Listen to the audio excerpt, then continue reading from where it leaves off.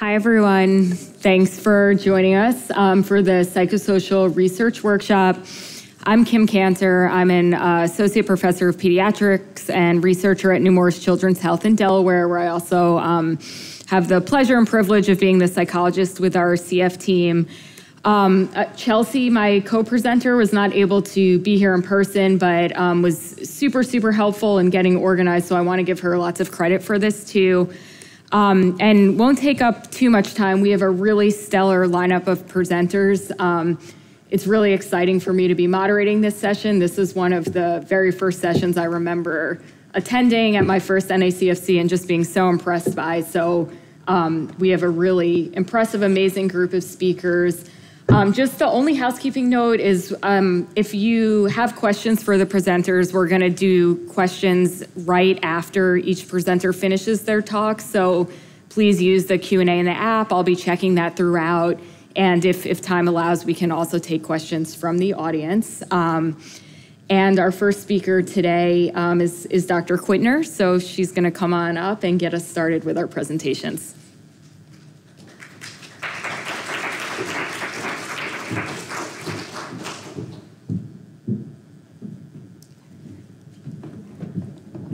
Good afternoon, everybody. I'm so delighted to be here and present on the national implementation of depression and anxiety screening at USCF centers and talk to you about what predicts success in implementation. I just want to mention that if we uh, lots of people have come up to me in this conference, and if we look at the conference program, it's quite amazing to see mental health now all over the program. So many amazing sessions on mental health that if you, even without the data I'm going to present today, you might say we've been very successful in integrating mental health into CF care. And just think about what that means that we have a very complex chronic condition in which we are actually in routine CF care integrating mental health. So I think it's a really a remarkable um, contribution, and it's really been the work of many of you in this room and people at this conference. I'd like to acknowledge the incredible Mental Health Advisory Committee research group that worked on this presentation and on these data. They're a really amazing group to work with. Okay, so. I'm going to try. Okay, I have really nothing to disclose. I'm the chair of the subcommittee for the Research Mental Health Advisory Committee. So, just some early background. Um, we had an early implementation survey of 1,454 providers in the EU and the US prior to the publication of the mental health guidelines. And what we learned from that was that 20% of CF teams had no one with a primary mental health role at all on the team. 73% had no experience in mental health screening, and people were using 48 different screening tools, which meant that we really couldn't gather data, we really couldn't compare across programs. Following the publication of the guidelines, which many of you worked on, and I have to thank all of those people who worked on the guidelines committee, we had incredible successes when we measured the first year of implementation, and that was published in Pediatric Pulmonology. So the, the CF Foundation, as you know, awarded 84 grants to uh, fund mental health coordinators. So I have to say, one of the things that helped us launch mental health screening was this outer setting to change healthcare was the support of the CF Foundation. And that's a really important thing when you think about a CFIR consolidated framework for implementation model. So we had 84 programs, and after a year, 100% were prepared to screen and discuss results with people with CF as well as parent caregivers. And we identified some of the key barriers. Time, logistics, follow up, and sustainability was a huge concern. So I'm going to present now a longitudinal study of three years of implementation across three cohorts. Our aims were to generate longitudinal implementation scores. So you might look at this conference, the amazing CFCBT training that so many people attended, the DBT workshops today, and say, wow, implementation is a huge success. But I would love to quantitate and uh, document those results. So we generated these surveys that mental health coordinators completed each year using the CFIR model, the Consolidated Framework for Implementation Research.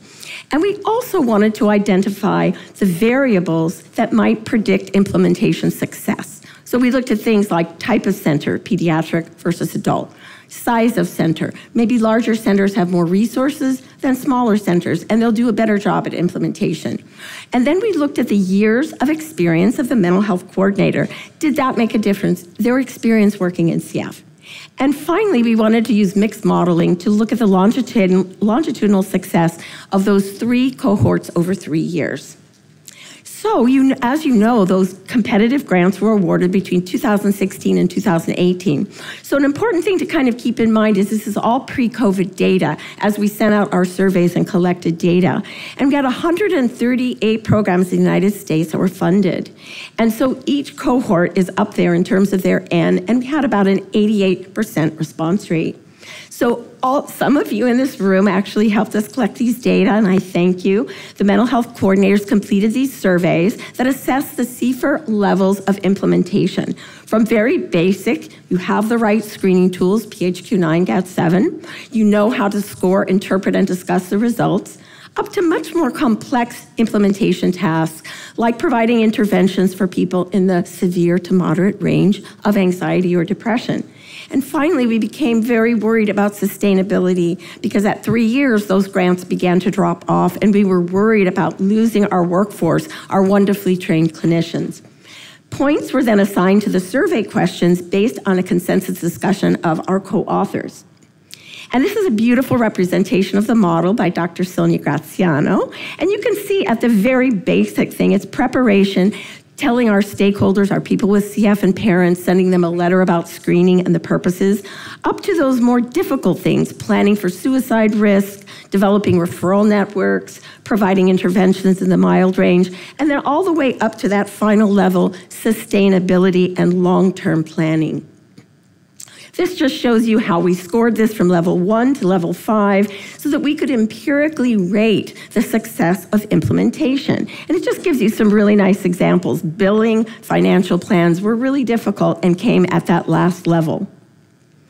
So, first of all, the great news is we looked at the center characteristics across all these cohorts and found no statistically significant differences between the characteristics of the pediatric versus adult, large, medium, small, and across those cohorts, how long the person had been in their role. This allowed us then to collapse across these cohorts for our analyses because there were no differences in those characteristics by center. So here are our implementation scores over time. And if you look at that top line cohort one, what you see is that their score doubles from year one to year two, meaning their success and implementation is outstanding. Then it increased even further in year three. And we see a similar pattern for cohort two. They go from 23 points up to 41 points. And then we see that even cohort three is starting a little bit higher because they've learned from the tools, the educational materials, and some of the conference presentations that we've scheduled as a result of these mental health coordinator grants. So the great news here is we found statistically significant improvements in implementation across these cohorts across time.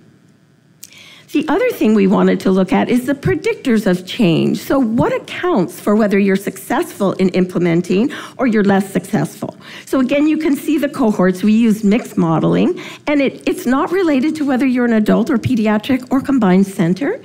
It's not related to the size of your center. But what it is related to, a significant predictor, is the time you have spent on a CF care team. So you, you people on CF care teams really matter in terms of your experience, comfort, experience with mental health issues. And the predictors were if you were one to five years or more than five years in a CF center, that predicted better implementation over time. So this is really interesting and I think teaches us a lot about how important our mental health staff are. This now models every single center in the study. These individual spaghetti plots show their implementation scores over time. And what you see is that solid line that shows that implementation improved over time. And you see some centers are just skyrocketing with implementation. But overall, the centers are generally all improving in terms of implementation, mental health screening, as well as providing interventions. And I think that's a key. So we also looked at barriers across the cohorts and years, and I think this is really important. I think this is pre-COVID. So people were worried about patient burden, time and availability for screening. And one of the things that happened with COVID is we moved toward more of a telehealth model, and some centers began to send a link so that you could screen electronically. So even though COVID was quite a, a difficult time, there were also some wonderful things that came out of COVID that helped us access patients easily and perhaps provide more mental health interventions. Space limitations, so screening an adolescent separate from a parent was difficult. Some of those logistics and limited staff time. And actually, these barriers continued. I mean, these are the common barriers we find in our healthcare systems, and it's very hard to solve some of these. It's hard to make your center bigger, it's hard to find space at times. Then we also wanted to rank order successes, and I'm so proud of these. Early identification of depression and anxiety. And think about how important that is. If we catch somebody earlier, that may prevent them from going on to have a chronic episode of depression anxiety. We may be able to do more preventative approaches. So that's a wonderful success improved access to psychological services and interventions. And we've seen in this conference that we've been training everybody in these wonderful evidence based interventions like DBT, CF specific CBT. We are giving our patients and our providers, our caregivers, more access to psychological interventions. And it turns out they really prefer to access psychological services in the clinic because it can be very hard to access that in the community because of copays, lack of insurance, and the fact that providers may not understand CF.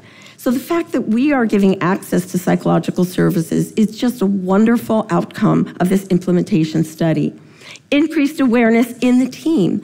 And this was really helpful actually during COVID when some of the mental health coordinators said they spent time helping with burnout and helping with the emotional stresses of COVID among team members and then reduce stigma. So it's okay to come to clinic and talk about mental health concerns. This has really changed the tenor of coming to clinic. It's changed the dialogue and communication around emotional functioning and made it normalized. And it's okay to feel stressed or sad or worried. And I think for me, that's probably one of the most satisfying changes that I've seen. So the clinical implications are really important. The majority of CF programs, I congratulate you, made substantial improvements in implementation. This is really a tremendous success story. Some of this improvement I have to credit to the Mental Health Advisory Committee because each year we ask mental health coordinators, what would you like to see at the next NACFC? What skills would you like to learn? What kinds of handouts can we help you make for maybe kids with ADHD or other kinds of resources that we could make available? And they worked really hard to produce those materials. So I want to thank the Mental Health Advisory Committee for all that work. Implementation's ongoing, and we still need to get better. It's an ongoing process. It's very important to think about the predictors of success of implementation, and that was the experience of the mental health practitioner and the team. We need to invest in our workforce and our training of mental health clinicians, which I think we've done a really good job this year in doing that. Recently, there has been a lot of turnover in social workers and in other members of the team. So we really need to invest in retraining and perhaps going back to some of those basics of screening and having a discussion. We recently published with our EU colleagues uh, a survey from e the EU and the US on both people with CF and caregivers. They viewed mental health screening as an intervention in and of itself as a way to show caring and concern about the whole person and about how they're functioning. The one thing they were concerned about is that either they weren't offered screening and they were disappointed, or there was no conversation after the screening. They didn't get to talk about their results. So, one of the things we learned in this study was how important that discussion and that feedback is, how much they want to talk to you after the screening to discuss the results. So it's important to provide that feedback. And then finally, people with uh, CF and families now have access to evidence based treatments that are specific for CF, such as the CF CBT trial, which we just trained people on. Amazing training with like over 80 people, with a huge dissemination implementation trial now funded by the foundation, and the CALM intervention study with CJ Bathgate. These are amazing additions to our toolbox. And so, future directions, I like to dream big. We were just at a plenary about dreaming. So, it was TIDES, the TIDES data were uh, presented in a plenary in 2015, if you might remember, and we all dreamed someday we would have mental health integrated into CF care. It was just a dream at that time, and then look at where we are now. So here are my long-term dreams. Um, one of them is to work on adding mental health screening scores to the registry, and that's a grant that we're working on, Dr. Georgiopoulos, Smith, et cetera. And um, they're going to build a new platform for the registry. And wouldn't it have been amazing had we had PHQ-9 GAD7 before Trikafta and then after Trikafta to look at some of these mental health side effects? Um, looking at the relationships then we could look at between mental health symptoms and health outcomes, increasing our accountability for doing the screening, looking at potential side effects of modulators in the mental health domain, we're hearing a lot about that, and evaluating the efficacy of mental health interventions. Okay, another dream of mine is a TIDES 2.0 in which we could do an epi study of children under 12 and get some prevalence data on the frequency of anxiety and depression in our kids under 12. And of course, another dream is to update the guidelines to look at those children under 12 and identify the best tools. And then finally, continuing to be able to, pro to provide psychological services using evidence based treatments. And I must thank the people who this has taken multiple villages to make this work, and lots of you in this room have made it happen. But I want to thank the mental health coordinators who filled out these surveys every year, gave us such great feedback and information, and provided the data for this study. Members of the Mental Health Advisory Committee who developed all these beautiful education training materials, the CF Foundation, who helped us in this outer setting level, larger systems level, get us started with these grants, and now have a line item that pays the salary of a mental health coordinator that identifies a role in every CF care team, all of them, accredited, non accredited, for a mental health practitioner. And the really maybe the CF community, which has said we want to prioritize this, and the ongoing support of people with CF and their families who think that this is very important. Thank you.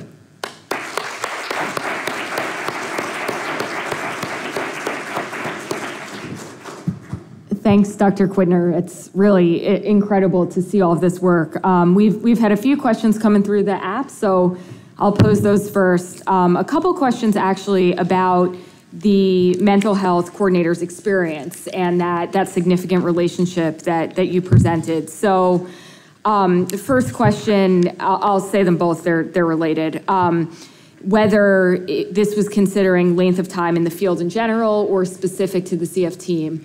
It was really how long you had been on the CF team. And so if you were on it one year or up to five years or longer, that was really a significant predictor of implementation success. So people who were brand new, who had just been hired, for example, with the mental health coordinator grant, but had no experience on a CF team prior, that was not a group included. But the groups that had been on the teams more than a year, up to a longer period of time, that was very predictive of implementation success. That makes sense to me. CF is super complex, and integrating mental health into CF care is, is a pretty tall order. So that experience was very helpful. So we want to keep our mental health practitioners. We want you to be satisfied in your role. We want to expand your role. And, and it's key, I think, to maintaining this integration of mental health. That's that's great, and um, you actually preemptively answered the related question, which um, was about whether those years of experience are perhaps a proxy for something else. Um, why you think this was predictive of success. Anything else about that? You know, I think, I mean, I've been working in CF for more than 30 years, and I think, you know, you become part of a team. It's part of a community, and you become embedded in a team. You learn a lot about the people with CF you're treating, the, the parents, the families you're working with. And it really takes some time just to be acclimated to the complexity of CF.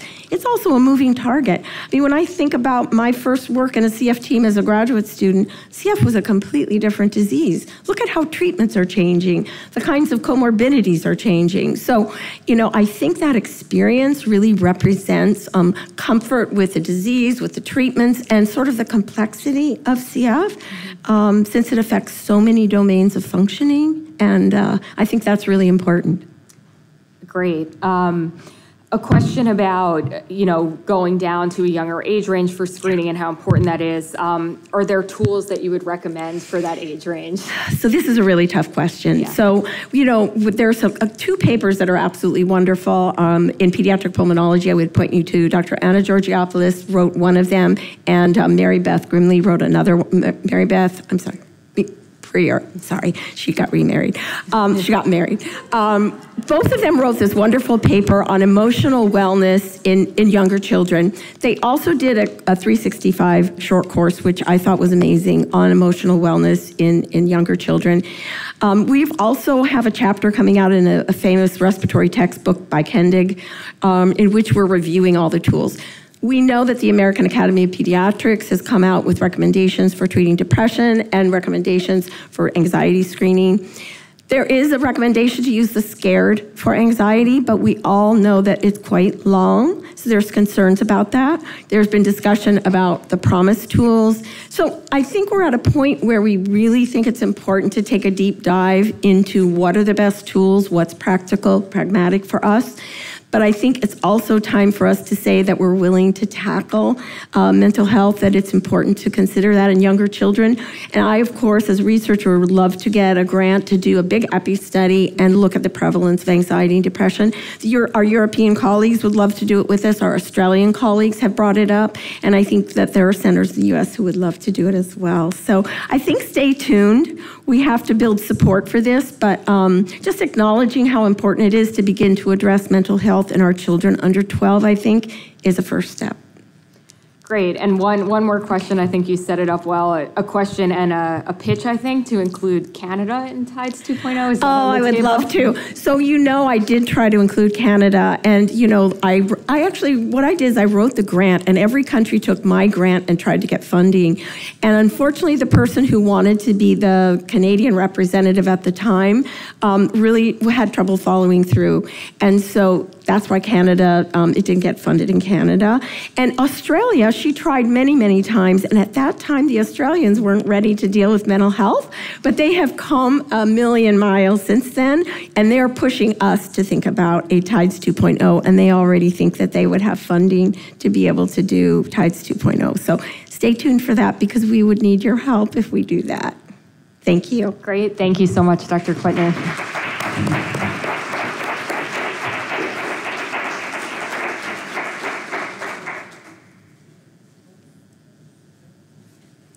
Okay, so next up we have uh, Dr. Georgiopoulos presenting about um, a qualitative content, content analysis of CF community and provider survey data.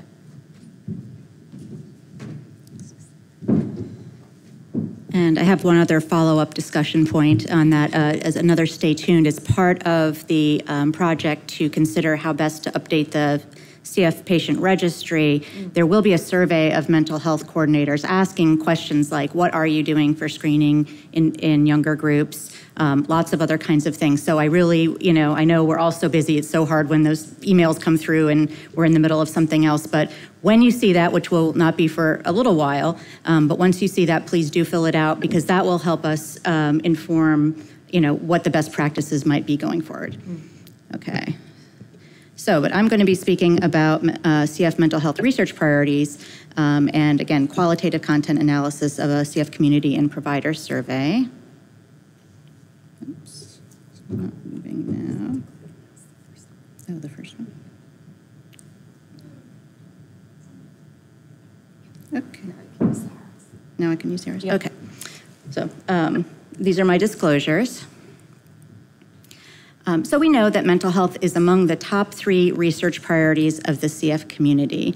Um, and there'll be some interesting data tomorrow. I encourage you um, to see Arika von Sitter's um, uh, talk about uh, wellness survey in the Trikafta era, and we see that mental health rises also clinically to the top of what people see their needs are um, in this new era.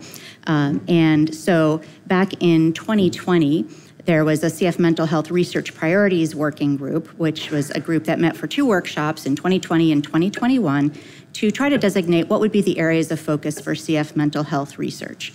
Um, and um, I'm not going to spend a lot of time on the details of of what came out of that because you can see that um, online. If you are uh, thinking of doing some research in CF mental health, please take a look. It's not meant to be prescriptive. So if you have a wonderful, innovative idea and it's not on this list, it doesn't mean you shouldn't apply. You, you know, you definitely should apply.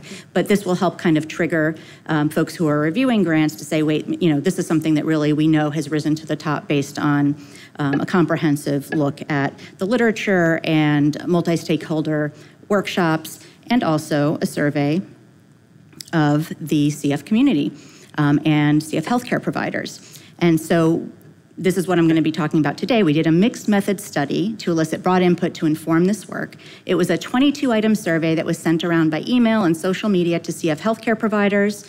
Um, some of those may have been you. Thank you for participating if you did. People with CF, family caregivers, and other members of the CF community um, back in June 2020. Um, and we have presented um, at ECFS some quantitative findings, um, but we aim to also analyze some quantitative findings to add depth.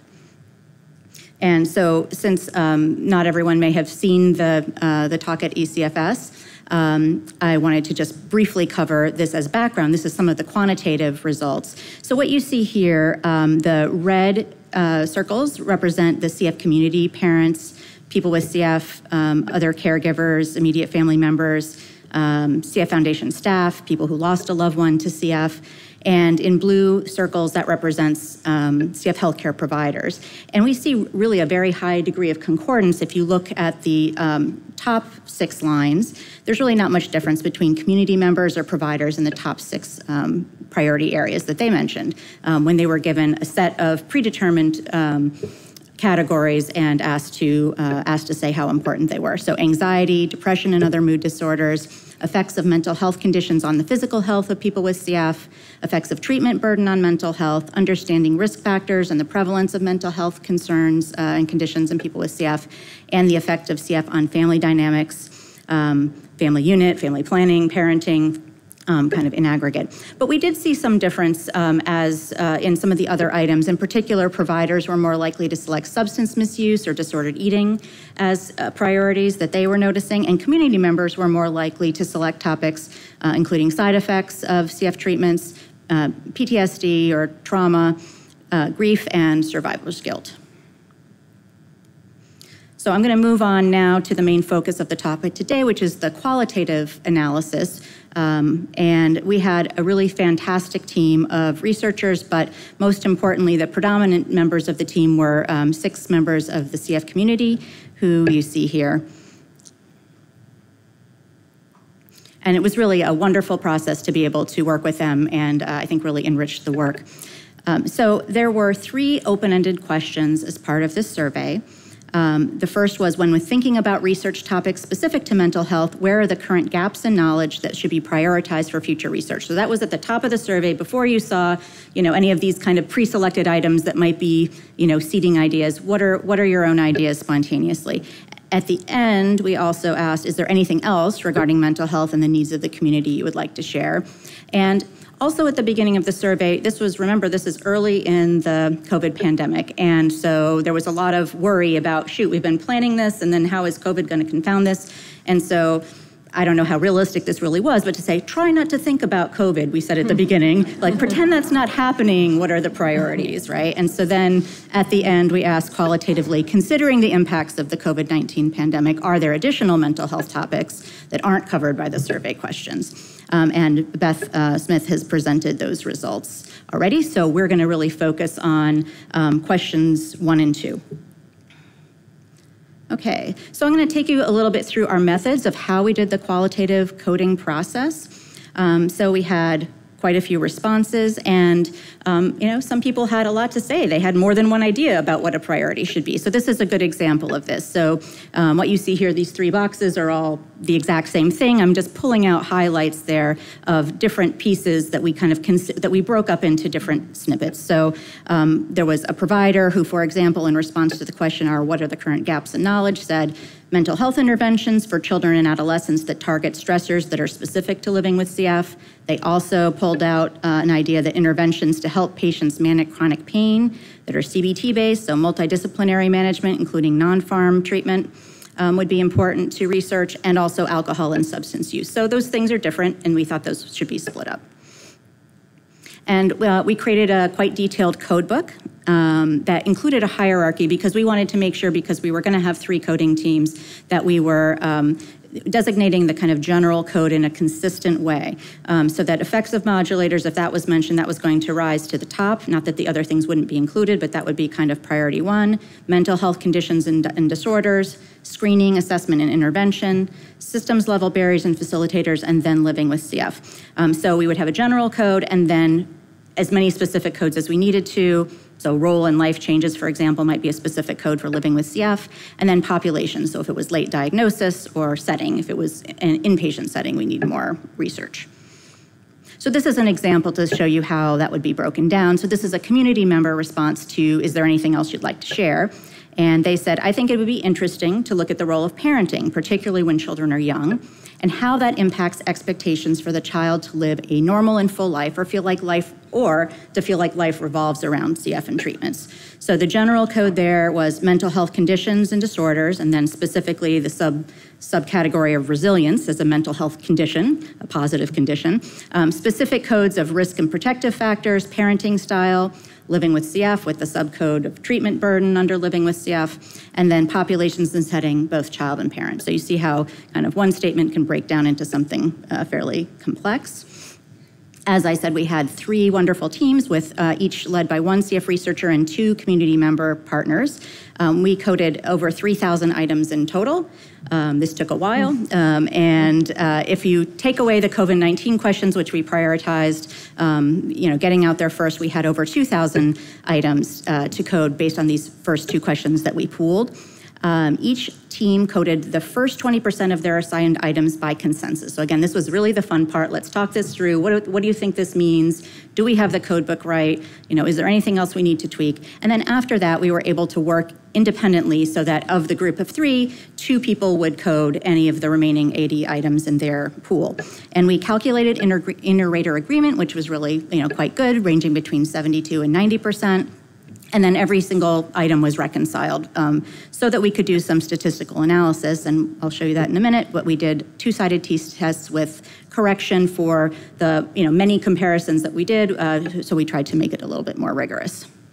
And these are our demographics. So we had, you know, 3,000 responses, but based on 841 people who um, took the time to complete some of the open-ended questions. Um, providers, caregivers, adults with CF being the most um, frequent. And so those were the ones we were really able to use for the statistical analysis because they were large enough numbers. Um, and so you'll see actually we have a fairly um, even or good distribution of age of the people with CF or age of the children of a parent, um, of FEV1 of people with advanced disease, or, well, in this case, I'm not really showing advanced disease, but kind of really good lung function or maybe not so great lung function. Um, we have a good representation of people with transplant. We had a predominance of females um, replying to this, and um, this is, you know, coming up in multiple settings. This came up with our CF-CBT trial. We've done a better job going from pilot to randomized trial of including men and recruiting men for the trial, and we want to do an even better job in our implementation trial to try to make sure that men with CF are um, thinking that mental health is something that's okay to talk about and to um, even have some preventative care for. Okay, so these are the results, uh, the kind of really broad, um, large scale results, um, top line results, and we had, um, again, very strong agreement between the CF community members and the providers. Um, and the most common priorities across all the respondents by frequency were mental health conditions. So you'll see this in the different bubbles. The size of the bubbles are representing how many responses there were. So for mental health conditions, it was 579. That's the big bubble. The smallest bubble is effective modulators. That was 123 responses. And so you kind of see as it as it goes uh, counterclockwise the the range of um, of the frequencies. And within those bubbles, you're seeing um, the, some of the subtopics. So, um, for example, for screening, for screening, assessment, intervention, the vast majority of people who mentioned that category, it was about interventions. We need interventions. Um, so, mental health conditions, interventions, living with CF, systems level barriers and facilitators, and effects of modulators. Okay, and so we did look at some differences by respondent type. And there were some significant differences in mentioning some of those general codes. So, um, providers and adults with CF were more likely to be concerned about the effects of modulators on mental health than were um, parent caregivers or uh, other, other caregivers. Systems level barriers and facilitators were more likely to be um, considered a priority by healthcare providers than by the caregivers. Living with CF, um, adults with CF, this makes sense. People having to deal with CF personally, adults with CF and their family members were more likely to mention items that were related to the experience of living with CF than were healthcare providers. But providers were more likely to mention some specific mental health conditions. So, providers were more likely to mention body image and disordered eating, similar to what we saw in the quantitative data that I mentioned earlier. Providers were more likely to talk about procedural anxiety as a research priority, and also substance misuse as a research priority. On the other hand, community members were more likely to mention some other conditions that maybe tells us that as healthcare providers, we're, maybe we're not, this is not top of mind enough for us, and those were stress and trauma. We also looked at differences by respondent characteristics. So for mental health conditions and disorders, um, adults with CF who either were planning to have a transplant or had had a lung transplantation were more likely to mention overall some sort of mental health condition as a research priority, which makes sense because we know that people who are post transplant, for example, are a high risk for a variety of mental health conditions, uh, PTSD, anxiety, depression, but also specifically, um, in this case, sleep came out as individually also significant.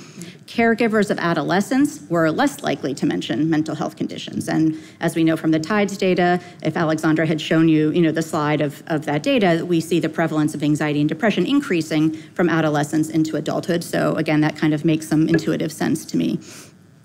Um, women and adults with CF who were um, on the older side, 56 and above, were more likely specifically to mention grief. Um, again, that may be something we're not thinking and talking about enough. Um, and in terms of systems level barriers and facilitators, so what do we mean by systems level barriers and facilitators? That's access to care, insurance, benefits, socioeconomic um, status uh, concerns.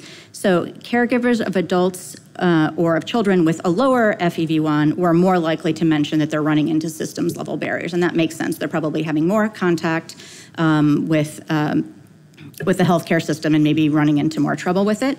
Um, similarly, older adults with CF were also more likely to mention system levels barriers. Um, and for interventions, caregivers of adults, so um, spouses or, or, parents of an adult, were more likely to mention the need for interventions than caregivers of 7 to 11 year olds, which again may have to do with that increasing prevalence over time, particularly if we're not preventing or mitigating you know, these mild cases that might, might progress, um, then uh, becomes more of a need. There were no notable differences by lung function, by the way, in people with CF. So the idea that um, you know it must be hard, your mental health must be worse if you have advanced disease, or you must be more concerned. Um, that's not necessarily the case. So, in conclusion, we did a qualitative analysis of a large survey of multiple stakeholders who provided input on the top research priorities for CF mental health.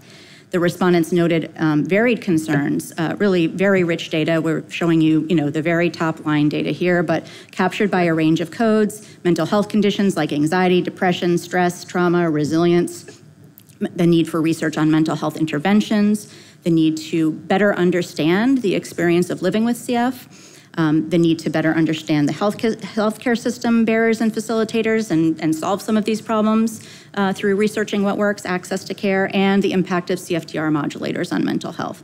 And so this facilitated consideration of these diverse um, perspectives that helped, um, helped us identify gaps and select the areas of focus for future research. And I will end there. Any questions?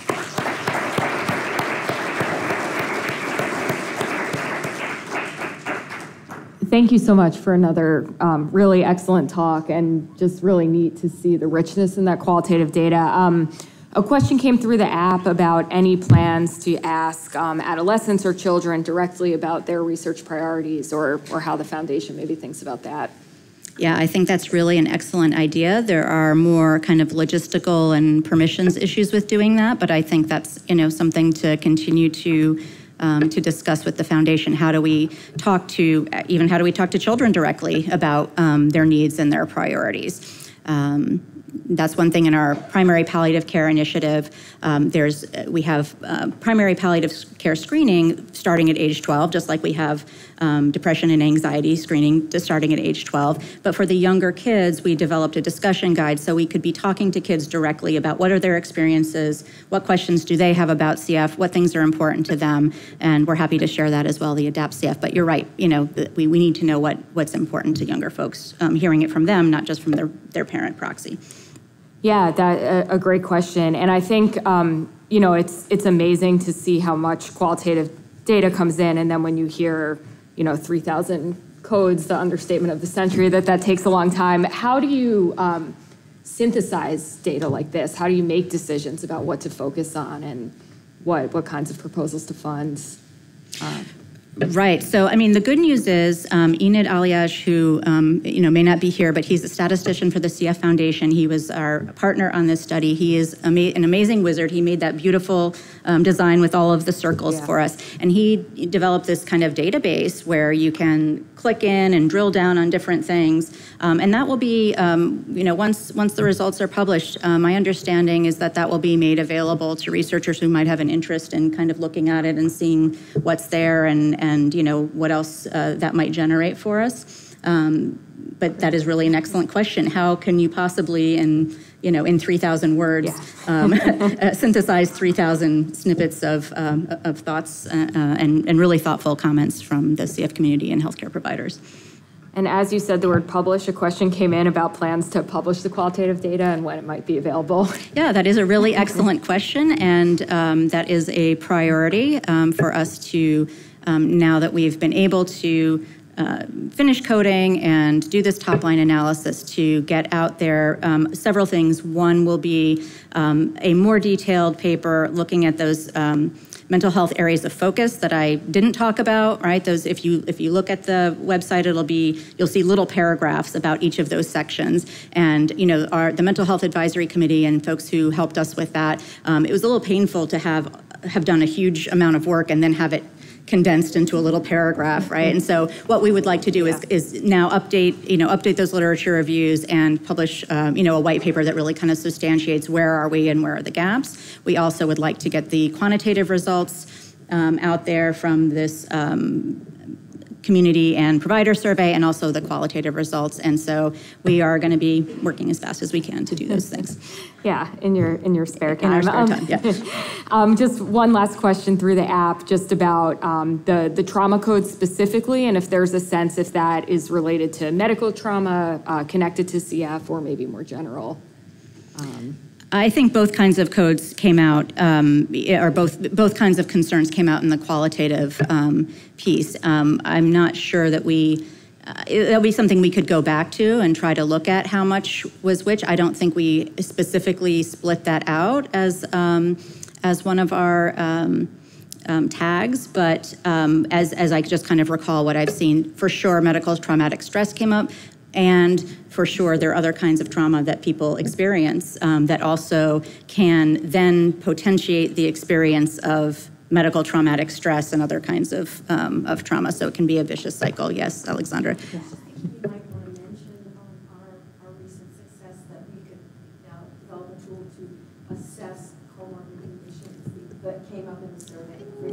Yes, that's a really excellent um, point, Alexandra. During this meeting, we did hear that we um, have funding um, to proceed with developing a CF specific mental health screener that will be a general mental health screener.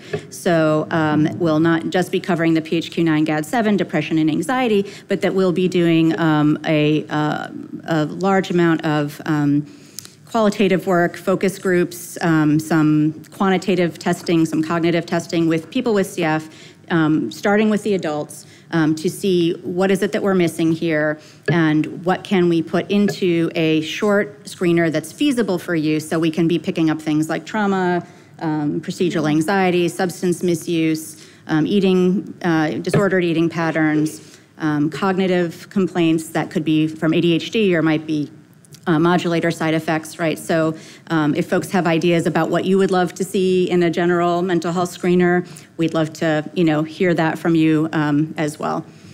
Anything else you'd like me to say about that, Alexandra? yeah. Okay. okay. Great. Thank you so right, much. Thank again, you. Anna.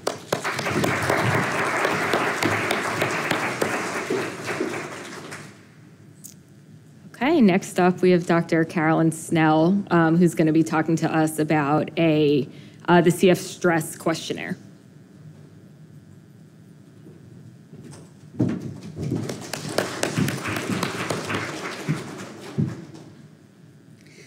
All right, thank you. Um, so I'm Carolyn Snell. I'm a psychologist at Boston Children's Hospital, um, where I work in our pediatric CF program as well as in our adult CF program that is joint with Brigham and Women's Hospital. Um, and um, before we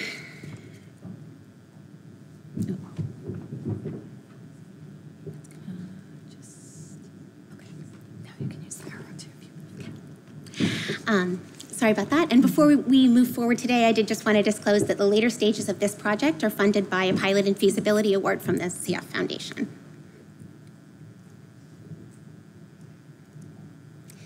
Um, so I'm very excited today to be um, talking with you about uh, development and validation of um, a CF-specific measure of perceived stress that we have been working on. Um, um and so I'm going to be presenting the beginning and middle stages of our efforts to develop this questionnaire. Um, and so by way of background, um, you know, as all of us know, right, um, the CF Foundation recommends an annual mental health screening with the PHQ-9 and GAD-7. And we as a CF center have, of course, found this to be very helpful, as everyone has, in identifying a, a clinical population that is in need of services. Um, we also see at our center, though, that there seems to be a broader group of people who perhaps are not experiencing clinically significant anxiety or depression, but they're coming in and they're saying they're stressed by high treatment burden, by feelings of maybe being powerless in the face of, the, in the face of their disease, um, facing high costs, um, and other stressors that are specifically associated with their CF care.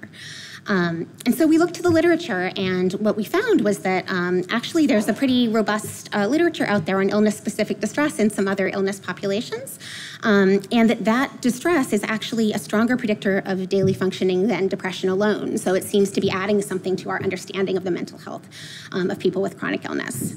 Um, we also uh, looked to the literature to find a theoretical framework for this, and um, we came upon the idea of perceived stress um, the definition of which is the degree to which events are assessed as stressful, unpredictable, or uncontrollable.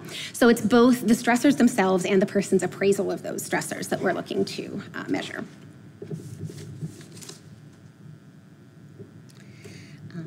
So we sought here to develop the CF stress questionnaire as a reliable and valid measure that could extend and improve existing mental health screening.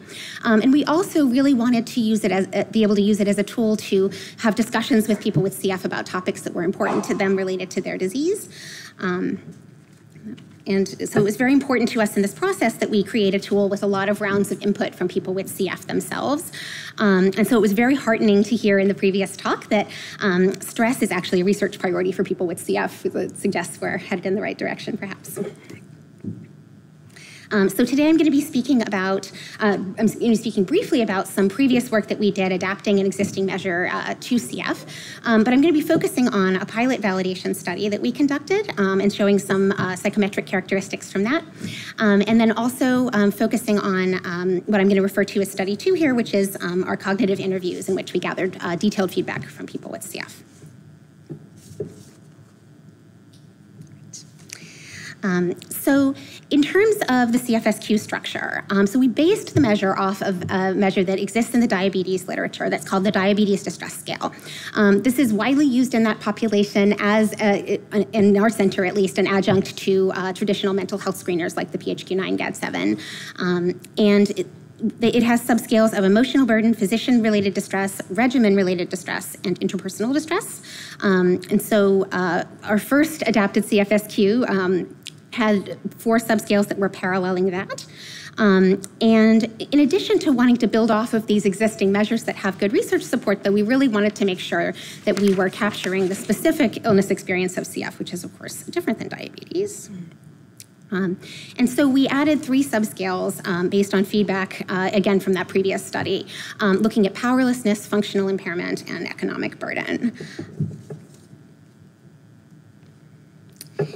So here are just some sample items from the CFSQ. Um, So, for example, uh, for emotion, this emotional burden subscale, we might um, see feeling overwhelmed by the demands of living with CF. Um, for regimen-related burden, feeling like I don't do my airway clearance frequently enough. Economic burden, feeling overwhelmed by managing insurance issues. Um, so a wide range of um, CF-related stressors. Um, and you know, in, in, doing this, we really sought not just to capture the person who has major depressive disorder or generalized anxiety, which then you know, which the GAD7 and PHQ9 do well. Um, we also wanted to capture people who, you know, like my patient who's a college student who says, I have to choose between my CF health and my social life. Um, I assume school and sleep fit in there somewhere. Um, you know, or my patient who says she needs a personal assistant to manage all of the specialty pharmacies and insurance issues that she has to deal with. Um, or yet a third third one who is not on a modulator who's saying he's overwhelmed by having to do hours of treatment every single day for his CF. And so this encompasses or it seeks to encompass all of those types of concerns. So in, in the uh, pilot validation study, which I'll refer to as study one, um, we had 30 adults with CF, um, and they also completed the PHQ-9 and GAD-7 in addition to the um, pilot version of the CFSQ. Um, and so we were able to um, look at internal consistency as well as convergent validity.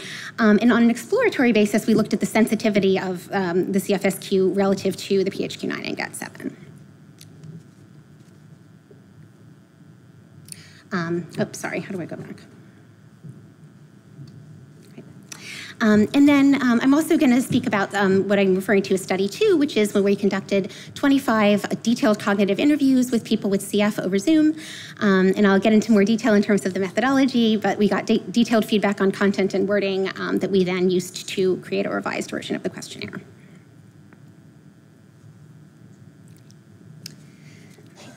Um, so in terms of our pilot validation study one, um, so our demographics showed that um, the average age of our participants was in the mid 30s. We had slightly more women, and there was a broad range of lung function represented. Um, in terms of internal consistency, um, results of the item and subscale level data from the pilot um, generally suggested that internal consistency was good. The Cronbach's alpha for that, that's the statistic you see there, shows that um, most of those scales are um, falling above the cut the cutoff that is generally um, seen as acceptable of 0.7, um, with only one of them, uh, interpersonal distress, falling just short of that.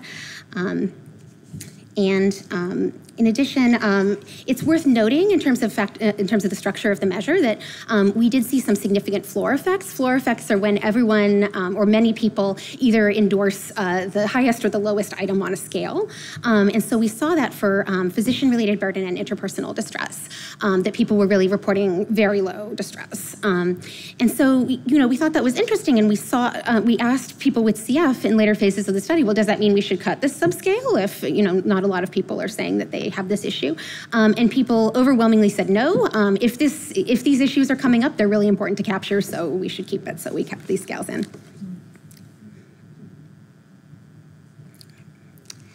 Um, we were also able to look at correlations between the CFSQ as well as its subscales um, and the PHQ-9 and GAD-7. So those statistics are for the CFSQ as a whole, um, correlations to the PHQ-9 and GAD-7 respectively. Um, and as we would expect, we see a higher correlation with anxiety since this is a measure of perceived stress. We also, um, again, on an exploratory basis, were able to do a chi-squared test in which we were comparing the relative sensitivity of the CFSQ versus the PHQ-9 and GAD-7, um, rem remembering that we're wanting to capture this broader group of people with the measure. Um, and so um, we used uh, the clinical cutoff that was established for the diabetes scale, um, and then we used the clinical cutoffs for the PHQ-9 and GAD-7 and looked at how many people were captured by each. Um, and we found that the results of this were highly statistically significant. Um, where in our particular small sample of 30, um, we saw that PHQ-9 and GAD-7 each identified three people, whereas 10 additional people were um, reporting clinically significant CF-related stress um, that were not picked up by the mental health screening measures. Um, so again, exploratory, but suggests that we're, um, you know, perhaps targeting the group that we're looking for.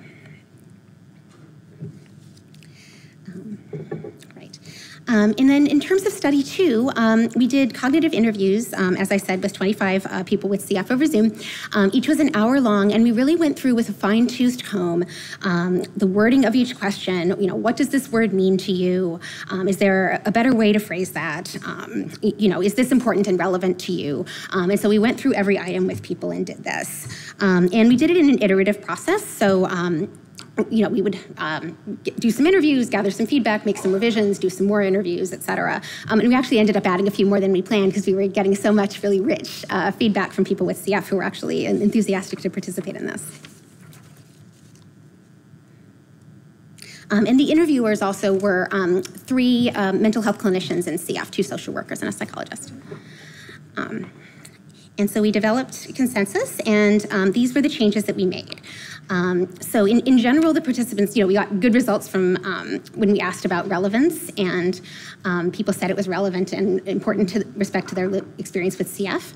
Um, we also we added three items in response to the feedback we got. One about um, anxiety associated with getting PFTs and those results. Um, one about the impact of CF on relationships, and one about uh, managing CF-related diabetes if that was uh, something going on for that individual. Um, and then we changed a little bit of wording and um, eliminated two items that people thought were either a little bit harshly worded or not uh, relevant to everyone. Um, and so here you can see um, a little screenshot of um, part of our completed measures. So um, like the PHQ-9 and GAD-7, um, this is looking at the past two weeks, um, and we have people answer, in this case, on a one to five Likert scale for each item. and so in conclusion, we, we sought to develop a questionnaire that can extend and improve mental health screening. Um, we want to be able to identify people who have CF-specific stress, um, have important clinical conversations with them, hopefully, once we're more widely using this measure, and ultimately be able to use this measure to predict and improve daily functioning in people with CF, um, since it's associated with that.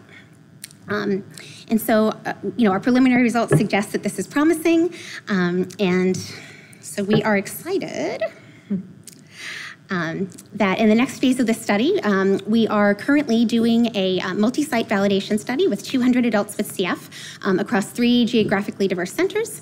Um, and we are going to be able to look at some additional things um, beyond the pilot. So we'll be able to look at test-retest reliability, known group differences, and convergence with additional measures relevant to mental health, um, such as the CFQR. Um, and so we hope to have our data collected by the end of the year and to have um, the measure available hopefully in spring or summer. Um, I just wanted to thank um, our wonderful team um, who are working with us on all the different stages of this project. Um, in particular, our research coordinators, biostatisticians, um, my center directors, Drs. Uluer and Sawicki, who've been overseeing this project, as well as our wonderful collaborators at the University of Buffalo, the University of Alabama, Birmingham, and uh, CHOC Children's in California. and be happy to take any questions.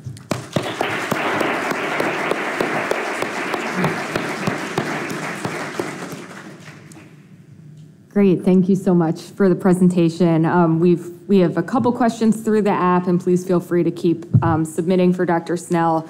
Um, a question about if you foresee um, using this eventually with a pediatric population or adapting for caregivers.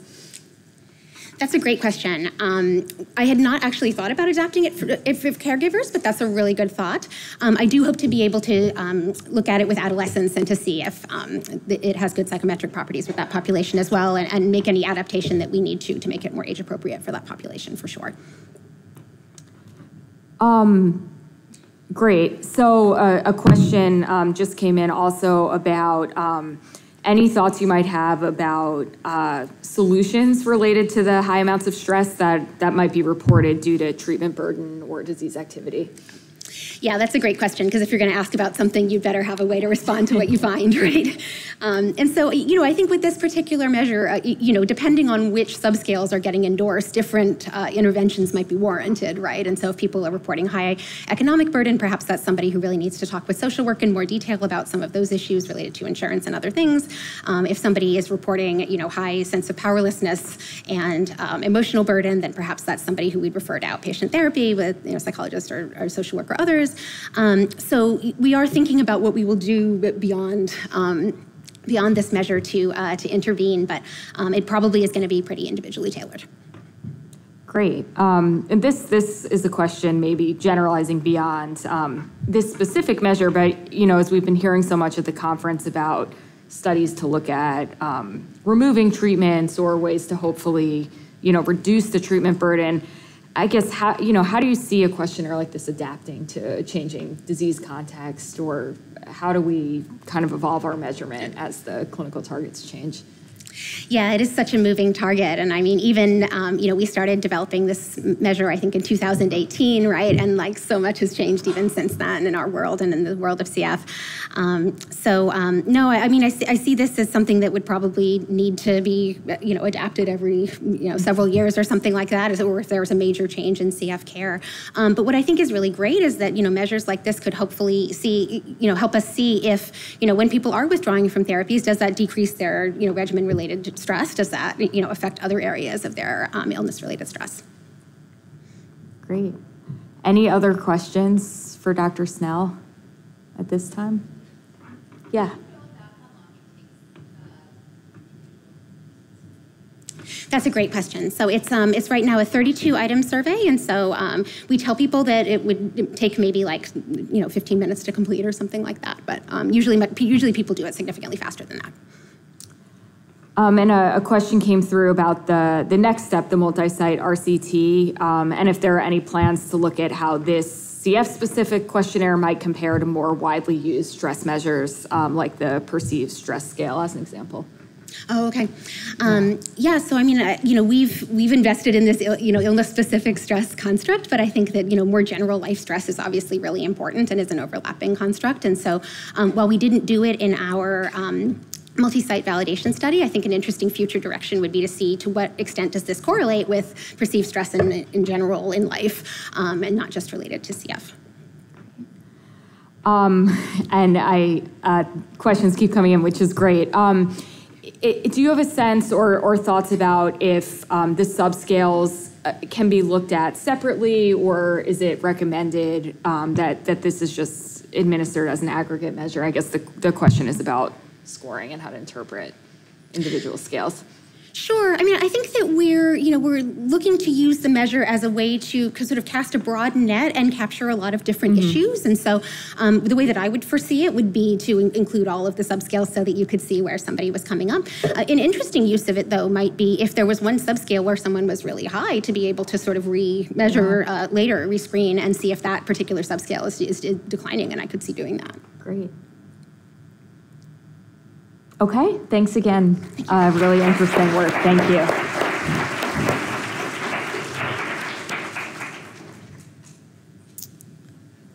Okay. So up next, we have uh, Olivia Stransky, who's going to be talking about uh, photo voice exploration of parenthood in CF.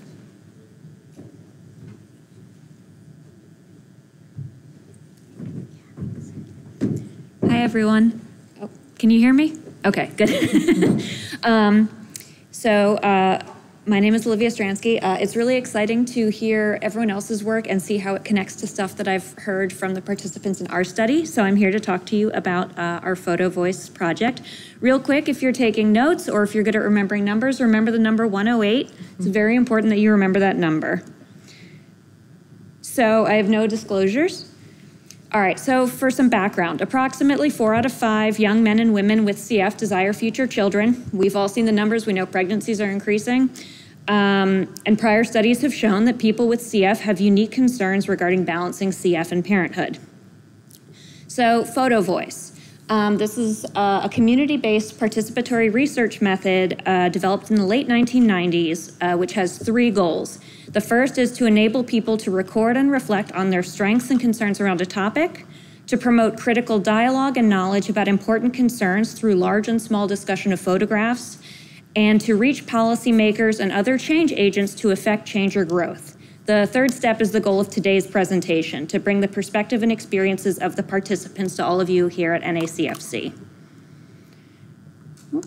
So, how Photo Voice works. So, the first step Participants as a group brainstorm uh, to generate research questions.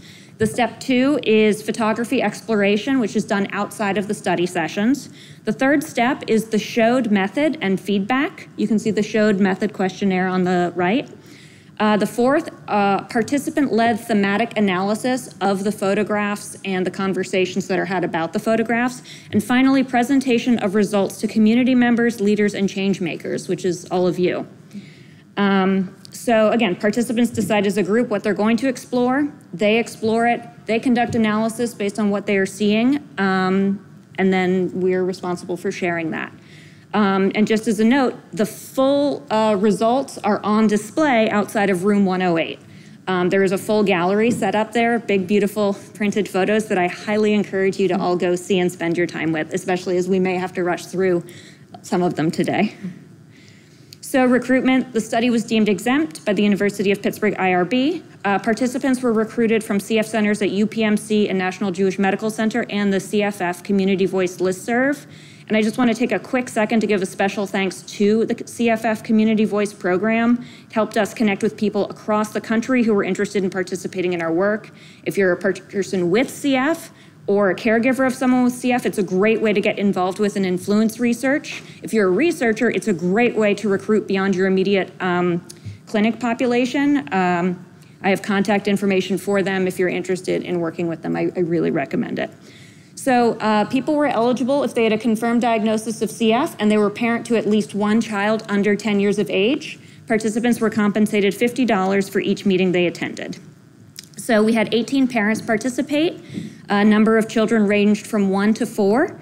Um, two participants had previously undergone lung transplants, and 14 were currently taking a highly effective modulator therapy. So again, uh, so due to CF infection control, all meetings were held via Zoom. Uh, in order to elicit maximum participation, we divided them into three cohorts. An 18-person Zoom meeting, you're not going to get everyone talking. um, each cohort began with an introductory meeting explaining the goals of Photo Voice as well as introductions. Uh, all participants were given an account on 23 Snaps, which is this uh, photo sharing app that was designed to maximize uh, privacy and security. We wanted everyone to feel safe sharing these photos of themselves and of their children. Uh, and all cohorts were given the same initial photography prompt. So real quick, these are the prompts that were generated by each cohort. So the first question at the top, what is it like for you to be a parent? Everyone had that. Below that are the um, prompts that each cohort generated as a group. Um, I know that I'll give you a minute to take a look. I can't read through all of them. Um, but you can see it's a really broad range of concerns um, and questions. All right, so let's take a look at the thematic results. After they answered these questions, they looked at their, at their photos and they said, what are the themes here we're seeing among all of them? So cohort one, joy. Uh, it's appropriate that this is the first theme because all participants overwhelmingly talked about what a beautiful thing it was for them to be a parent. Um, so we can see uh, on the first, uh, we have a participant showing her son her Trikafta. Mm -hmm. Parenting with CF means that advancements in CF care are advancements for the whole family. Uh, then we have teaching my baby how to have fun in the everyday. And then we have playing drums in a local band while having a PICC line in my arm. The doctor said it was not a good idea to continue playing. I said it's not an option to stop for my quality of life, so let's figure out a way to make it work. This was the second one I had put in after the first one failed. It was worth every inconvenience. A juxtaposition of emotions. Fishing with my daughter, lost in the moment for me, one of the times when I'm not thinking about CF and my mortality. Most of the time, I'm constantly thinking about how much longer I have with my daughter, when the next hemoptysis episode will be, or about which medicine I forgot to take in the day. Bittersweet, the joy of having my son visit me, juxtaposed with the sadness of needing to be apart. I can't read the last one, it's quite long, but again, room, uh, outside of room 108. Striving for balance, juggling multiple balls and sometimes dropping one. Family life with CF includes treatment time and self care activities as a regular part of everyone's routine. And I want to spend a special moment on this photo. Um, so you can read the caption. I just want to say she's doing her exercise, she's doing her vest, and she's doing her inhaled therapy at the same time. In the background, her five year old is on Zoom kindergarten, and she said her toddler was just there in the room. Um, uncertainty. Um, so I'll just read the one on the right. The decision to become a parent and parenting is filled with tough choices. You must make long term decisions with an uncertain future while only being able to look down a small part of the road ahead. Cohort two, prioritizing your own health. When I first became a mother, the guilt of not parenting like a normal parent set in quickly. My life isn't Pinterest worthy, my house isn't a page out of a magazine, and there are days when the best I can do is sit on the sidelines. Um, I have to remind myself it's okay to rest. It's okay to take time out of my day to prioritize my health. It's okay if our days look like this sometimes. We have resiliency. I am trying to live my best life I can, even though it may be hard for me to breathe, but I am trying to cherish the moments I have with my son, creating memories that will last a lifetime. And again, resiliency. There's too many, I can't read all of the captions. Room 108, guys.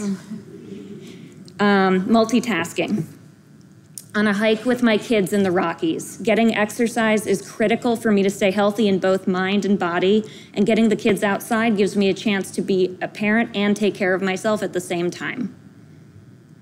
This is another great one. Um, and again, someone is, he's doing his vest and is inhaled while helping his uh, son work on his reading. And actually, he noted that before doing the photo voice study, he had never done any of his care in front of his kids.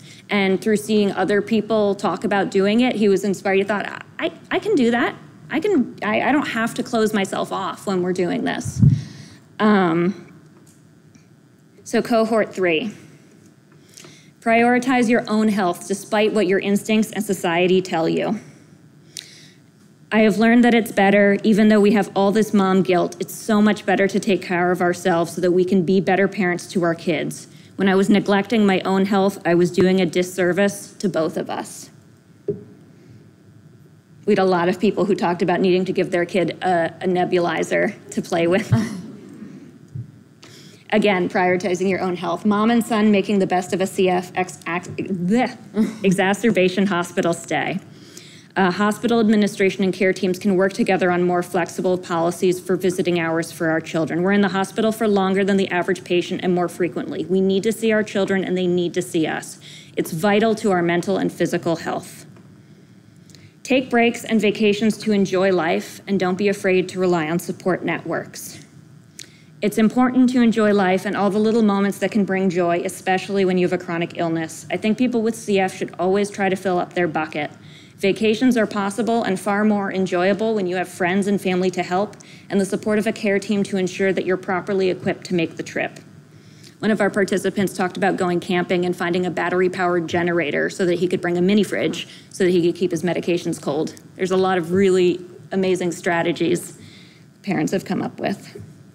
Combining CF care with spending time with your child can normalize it and make it easier to fit in. Parenting is a lot of juggling and er, juggling a lot of schedules and moving parts and meeting many demands of both CF and being a parent.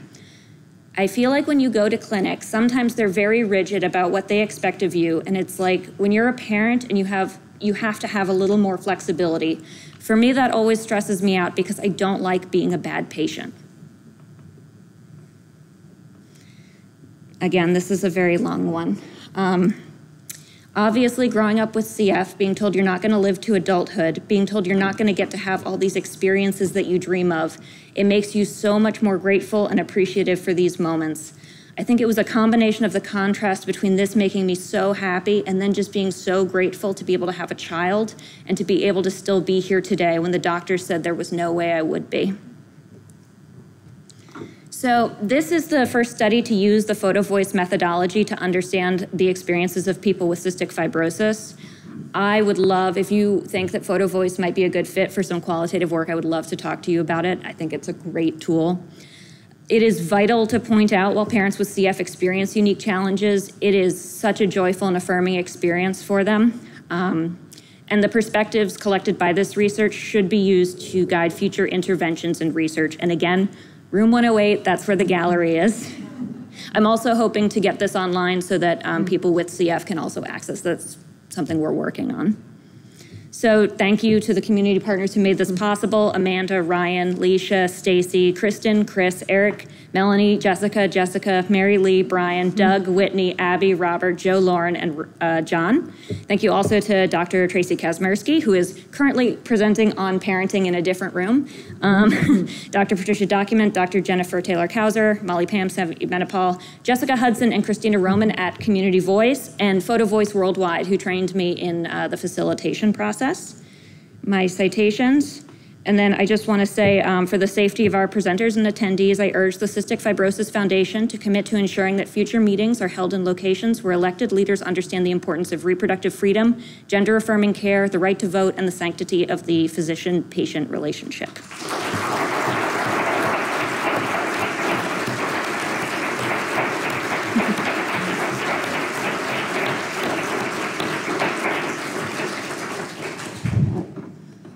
Wow. um, getting a little like choked up looking yeah. at that. And you actually, um, you you went through that. You have a couple minutes if there right. were any pictures you yeah, wanted to go back, go back, to. Um, and please send um, questions for Olivia um, into the app, or if anyone has questions or comments. Um, why don't I stop talking for a minute and let everyone read that, and then we can uh, go into questions. My boyfriend told me to skip all the boring research stuff to get to the good stuff, but I figured.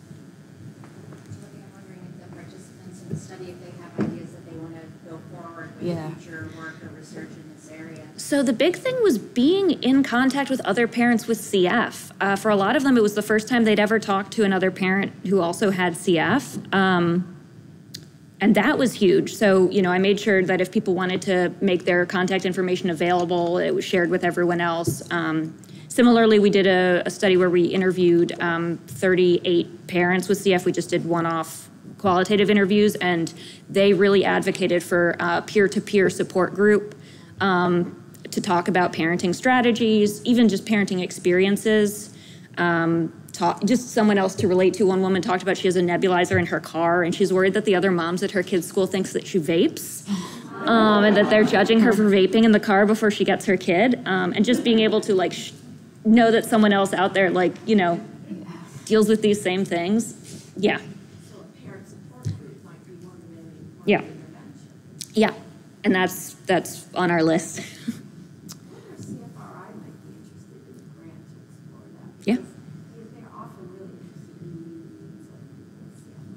And I know Peer Connect, I think, mm-hmm. exists, and so I'm wondering if a parenting focused um, arm of that might be something to consider. Yeah. Um, I, I, think you, you alluded to putting this uh, online, but a, a, question came through about um, where or, or if the photo voice images can be viewed after the conference. Yeah, so we are trying to find a home for them online. Um, I would very much like if the CFF wanted to maybe host them online in a blog post. Um, we need to um, figure that out. Um, because yeah, again, it's it's very important that it's not just shared with with care teams and researchers, but with members of the community.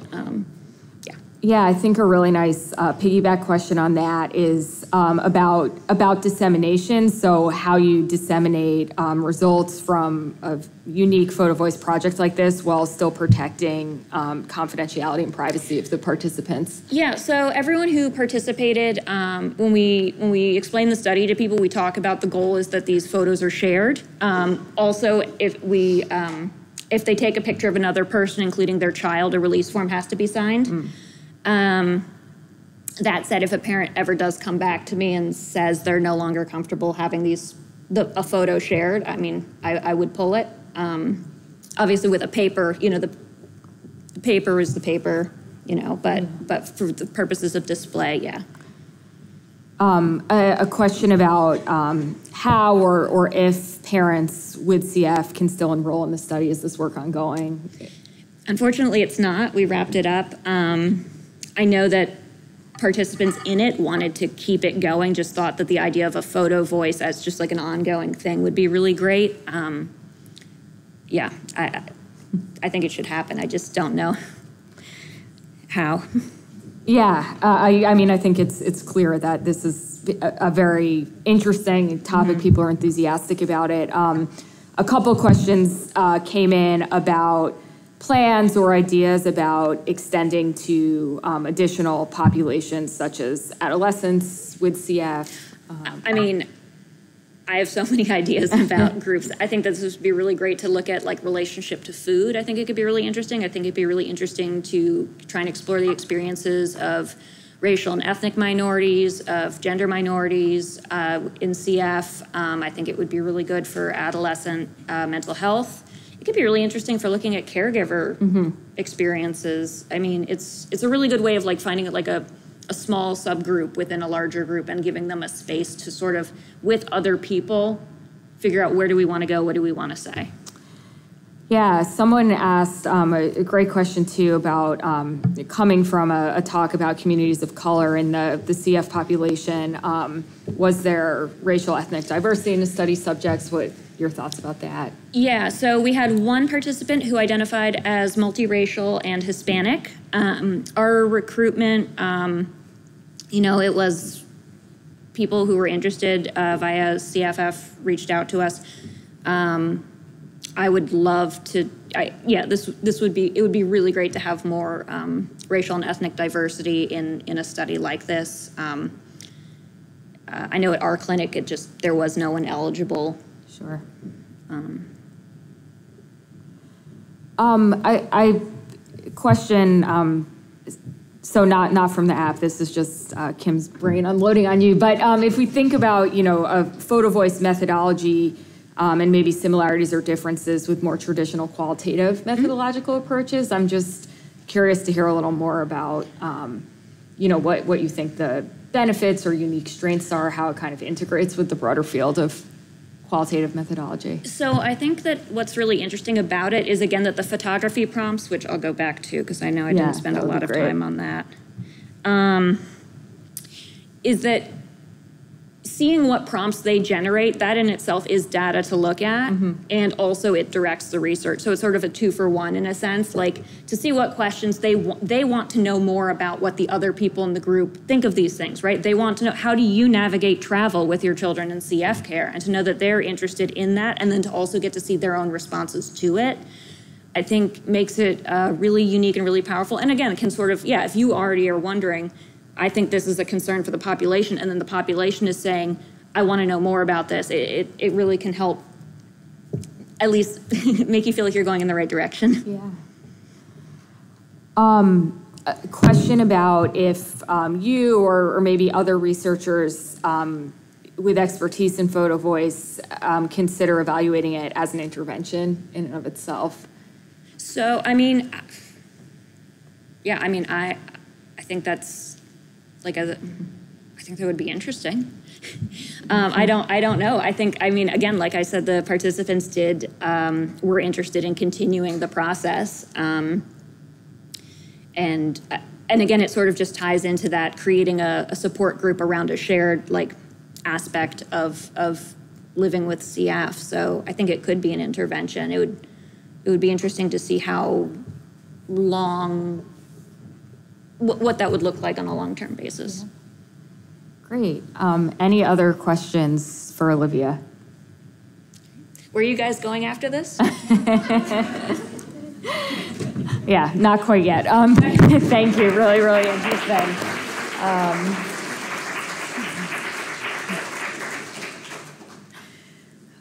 so we have um, one more really great talk queued up. Um, Dr. Vaziri, who's a pediatric pulmonology fellow, um, talking to us about uh, it, it's time to be blunt in investigation of attitudes and usage of, of cannabis and vaping.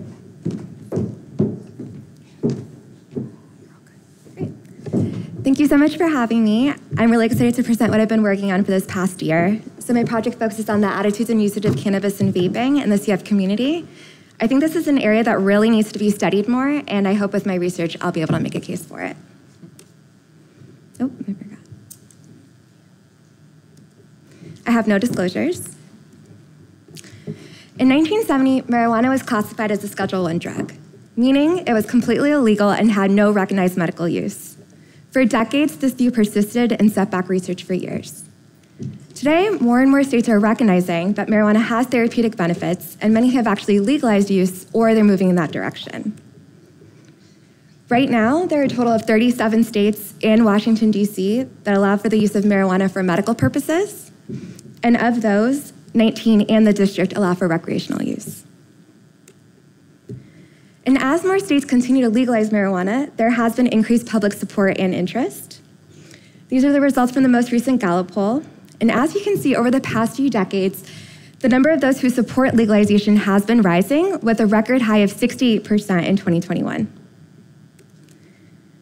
And there's also a very similar trend in those who have tried marijuana. You can see here that almost 50% of those surveyed have tried it within their lifetime. So more people are now turning to cannabis for a variety of reasons. Some of them use it to alleviate mild health conditions, and some even use it to address the symptoms that come with having a chronic disease. So of course, I was really interested to see what the trends are in those with CF. And I found only one prior study in the last decade which looked at prevalence. So they surveyed participants in New Jersey and Pennsylvania, and what's really important to note is at that time, there were no legal medical marijuana laws for CF patients in both of those states. So their results showed that 16.5% have reported using marijuana in their lifetime, with 15.4% reported using within this past year. And the number I found most interesting was that 46% of those surveyed would be interested in trying marijuana if it was legally available. So, to me, the biggest takeaway of this study was that there's a lot of interest within the CF community with trying mar marijuana. Okay, let's see if this works. Okay, which is also seen here. So, these are some of the screenshots of the questions and advice I found online.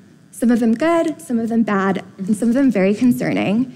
And this is just a fraction of what I found. So there's a lot of confusion and a lot of misconceptions within the CF community. So before I get started talking about my study, I do want to define some terms. In the study, I distinguish between marijuana and CBD, so I want to go through the differences. The cannabis plant contains many chemical compounds called cannabinoids. The two most well-known cannabinoids are THC, which is tetrahydrocannabinol, and CBD, which is cannabidiol. THC is psychoactive and known to give you that well known high. While CBD is not as psychoactive, and studies have shown that it can give you some anti anxiolytic and some anti inflammatory effects. So, when I'm discussing marijuana, also known as cannabis, I'm referring to products that have both THC and CBD in it. And there are a lot of CBD products on the market right now, but legal CBD products must contain less than 0.3% of THC. So the goals of my study were to understand the prevalence of cannabis and e-cigarette use in CF participants who are 13 years of age and older, determine whether there are any demographic or social factors that are associated with usage, and then last, explore patient perception of their CF healthcare team's understanding of cannabis and vaping. Our inclusion criteria included those who were 13 years of age and older, who have cystic fibrosis and are English speaking, this was a cross-sectional one-time study that took place on REDCap. And recruitment took place through several different means. We distributed this on the CF listserv, and it was also on CF Voices. I also recruited through closed membership CF Facebook groups and did some internal recruitment through our own program. So of the 214 subjects who met our inclusion criteria, our age range was between 13 to 80 years old, with a mean age of 34. The survey was more female predominant. And the majority of those who took the survey were non Hispanic white. In terms of location, the states in the blue were those who participated, so we had a pretty nice distribution throughout. So the first question participants were asked was if they have ever used or tried any of these substances, which is seen here in the gray. Of the three, more people have tried marijuana than CBD and vaping. These numbers are actually very similar to the national average of the total population who have ever tried these products, which is seen here in the dotted lines. And then current use, um, current users are characterized as those who have used within the last year, which is seen here in the blue. So what we found was that the majority of our participants in the survey have tried at least one of these substances within their lifetime, with about a quarter to a third being characterized as current users. So the next thing I wanted to characterize are the ways marijuana and CBD are used. We can see marijuana in the green and CBD in the yellow. With both of these substances, edibles are the most common route of administration. And surprisingly, we found that smoking was more common amongst those who use marijuana, and vaping was more common amongst those who use CBD. We also really wanted to see if there are any factors associated with current users. So, one factor that really stood out to us was how current users rated their health. Participants were asked to rate their lung health from poor, which is seen here in the gray, and to excellent, which is seen here in the green. Those who were current users of marijuana were more likely to rate their lung health positively compared to non users, although there was no statistical significance. Participants were also asked to report their latest lung function, specifically their forced expiratory volume, so their FEV1. Once again, there was no statistically significant difference noted for lung function when compared to non users. However, we did find that current users of marijuana were more likely to rate their overall health more positively when compared to non users, who are more likely to rate their overall health negatively. So, what this data tells us is that even though current users of marijuana may not view their lungs as healthier, they do see themselves as healthier. And this may be due to several different factors, one of them being that marijuana, for some, can cause an improvement in mood, Many with chronic disease do use it to improve anxiety, improve depression, and relieve stress, so this may be contributing. And interestingly, the opposite was true for e cigarette users. Current users who vape were more likely to have a poorer perception of their overall health versus non users. And a similar trend was again seen for lung health vaping users were more likely to have a poorer perception of their lung health when compared to non users. And then current vaping users are also more likely to have a self reported FEV1 in the intermediate range, which is seen here in the yellow, when compared to non users.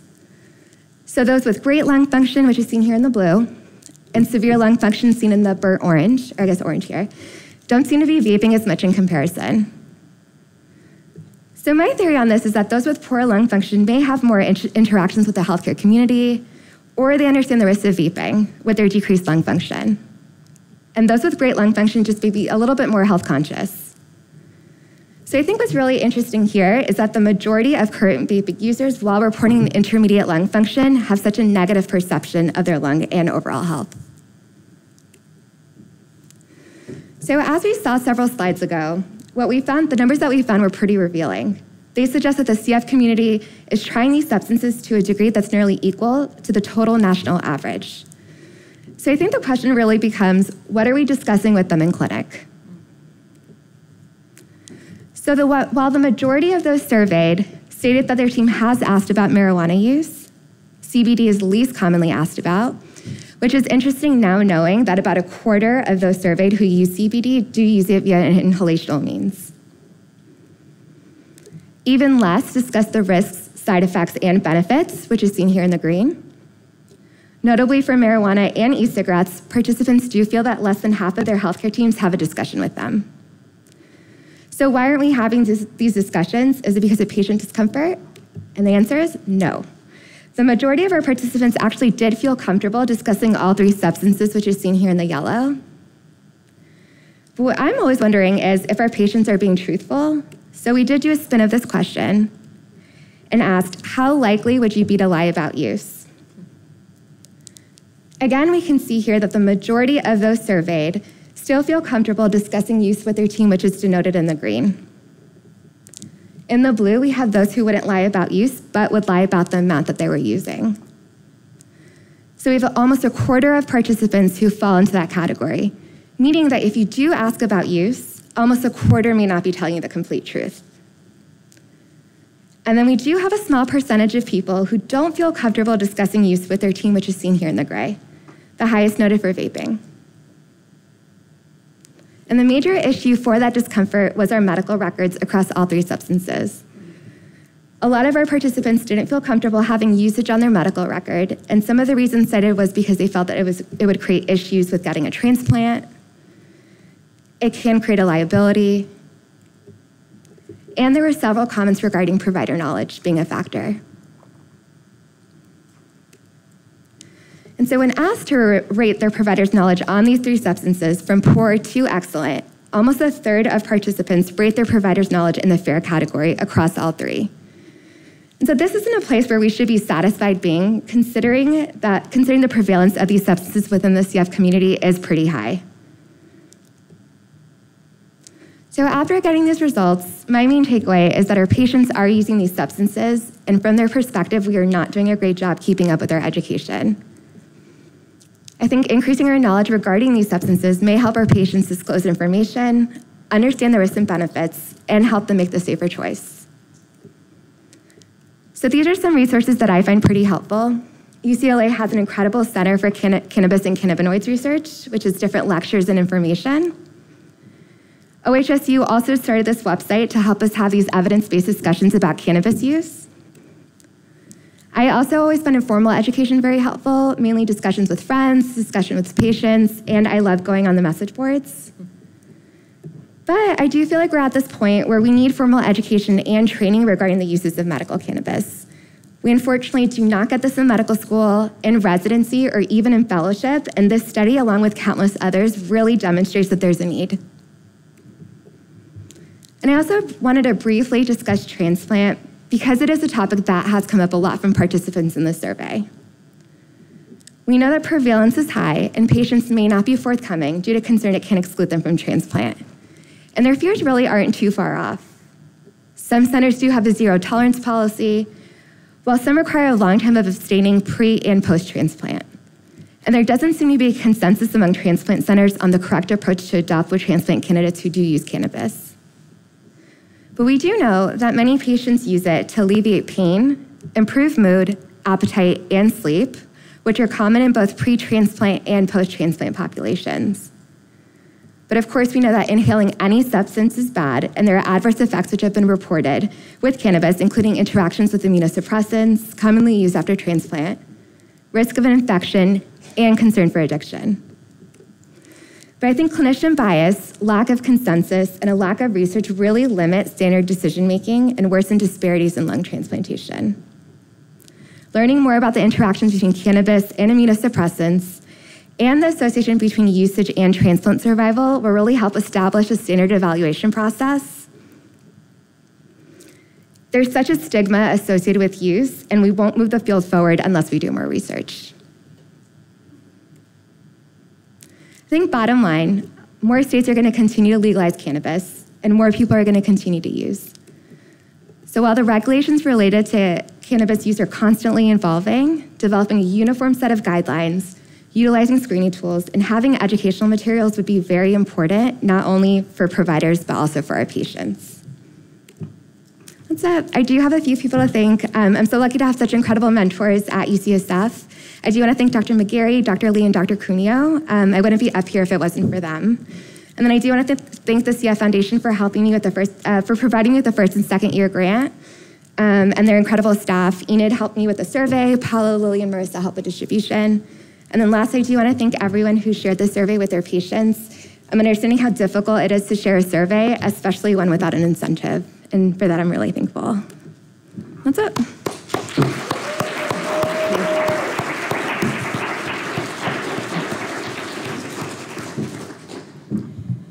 Great. That was so interesting and a really important topic. And please um, submit any questions through the app. Um, I, I, think it would be great to maybe hear you um, talk a little more about maybe how um, how can we be assessing use better in clinic and um, any thoughts about documentation. I mean, I think that's it, it, certainly makes sense that patients would be worried about what goes into the EHR, and yeah. I think um, you know, as notes get more and more detailed, it's it's hard sometimes to know what to put in and what what not to. So I'm I'm just curious if you have thoughts about talking about and then documenting. Yeah, I think usually just asking them about use. There are a couple of screening tools like the I think it's the CUDIT, which is the Cannabis Use Disorder yeah. test. I don't know what the I forget what the I stands for. So those are all helpful screening tools, and there's a cage screening tool also that I find pretty helpful. But usually I just start asking them about use, and they're usually pretty open, especially the teenagers. Um, and I think that's probably the first great step. And then documenting, I think it's very hard now that patients can see our notes. Mm-hmm. So it is a little bit difficult to document, and I don't have a great answer for that. Yeah, um, no, it is. I think it's rapidly evolving in, in lots of areas, and it's yeah. it's important to to know that. Um, a question came through about uh, well, a, a, comment, and then the question that um, in in this provider's clinic, um, there's some provider support for encouraging use of, of edible versus, versus inhaled cannabis if it's coming up. Um, and then a follow up question about um, recommendations or whether it's appropriate, I think, for um, screening related to substance dependence when you're asking about recreational use. I guess how you differentiate and um, what what you might do to screen for dependence present or in the future. Yeah, I think those screening tools. So the CUDIT um, is the cannabis use disorder screening. That one actually does um, look for like, screening disorders, and so does the cage. So I think going from mainly like how often they're using it, why they're using it, that those are all very important questions. And then just utilizing, I usually utilize those screening tools when I'm asking them questions. Great. Um, a question about if there if there is clear scientific evidence um, for excluding individuals from lung transplants on the on the basis of cannabis use. I didn't see anything. So I would love to hear anyone who deals with lung transplantation um, to talk about this because that's actually one of the things that mainly came up a lot in the comments. So a lot of people said that we're not forthcoming because of lung transplantation. They get a lot of benefit out of it. And I saw several case reports regarding immunosuppressants and cannabis use, but I didn't really see anything else. So I would love to hear.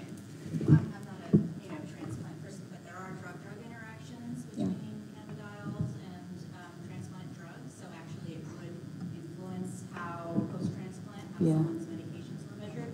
So if a team were to, to support it, they would have to be really clear. And, and, right now, it's not FDA approved. So how do you know exactly how much you're getting, how much that's going to change your immunosuppressant? Yeah. That's then going to cause uh, rejection. That can be a problem. The other thing with inhaled is, is the fungal um, mm. uh, contamination, mm-hmm. which is really present in a fair amount of samples. And you know, it may be getting better now that it's legalized, but, but some of these studies have been done in places where it's legal and you still can see aspergillus and other things. And there are case reports, particularly in transplant populations, people have uh, developed disseminated fungal infections and have died from that. So I think there are, you know, there are there's some stigma and some, you know, uh, maybe unjustified concern, and then there are some medical concerns. Very valid, yeah. Centers attend yeah, and I think, I, yeah, that, and that's what I saw in terms of the case reports also. But I think being open about it with the patients, just telling them, because some transplant centers just tell them to abstain pre and post transplant and don't really go through the reasons. And that's why a lot of patients don't really disclose that use. So I think telling them there is an interaction with immunosuppressants would be very helpful because um, there was actually a comment that said that they'd end up taking it and there was an issue, but they never knew. Um, yeah, another um, question I think related to potential medical um, impact. Uh, a question: If are you aware are you aware of any anti-inflammatory effects um, for CF patients who don't smoke or or vape, but who might be using um, edibles or other yeah. Not that I know of, but I, okay. I do think those would be great, great studies. So I think that's exactly how we can move the field forward is if we do start studying this more. There was a trial of the drug that you know, had some positive results in other disease states um, looking at um, you know, cannabidiol as an anti-inflammatory and didn't find, uh, didn't find a positive benefit. So uh, you know, may or may not, may or may not yeah. further, but it's certainly, you know, uh, being considered. Yeah.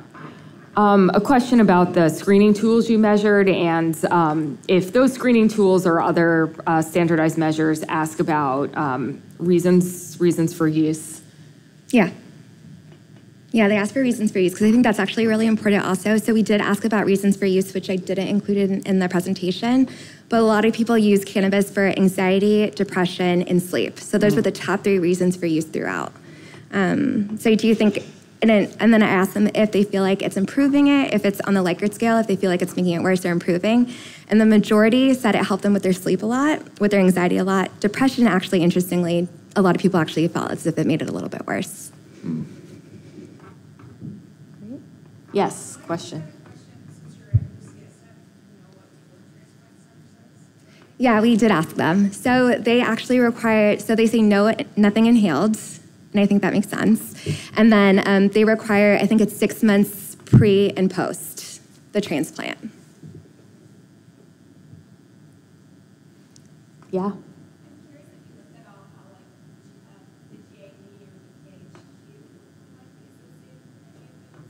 Oh, I didn't look at that, but that's uh, interesting.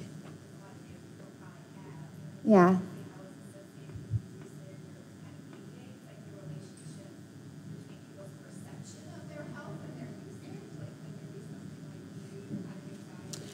Uh, actually, I am lying. We did ask about this, but we don't have the data. So we did ask about um, anxiety. So we did the the PHQ four, I think. So we asked those four questions that analyze anxiety and depression.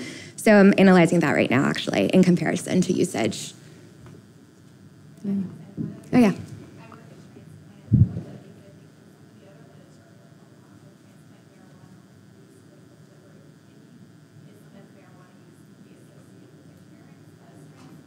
That's interesting.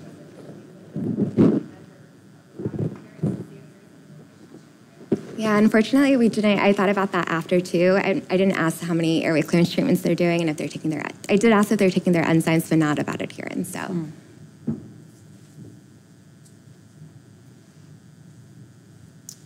Any other questions? Okay, great. Well, thank you, and thanks to all the speakers. Really great session.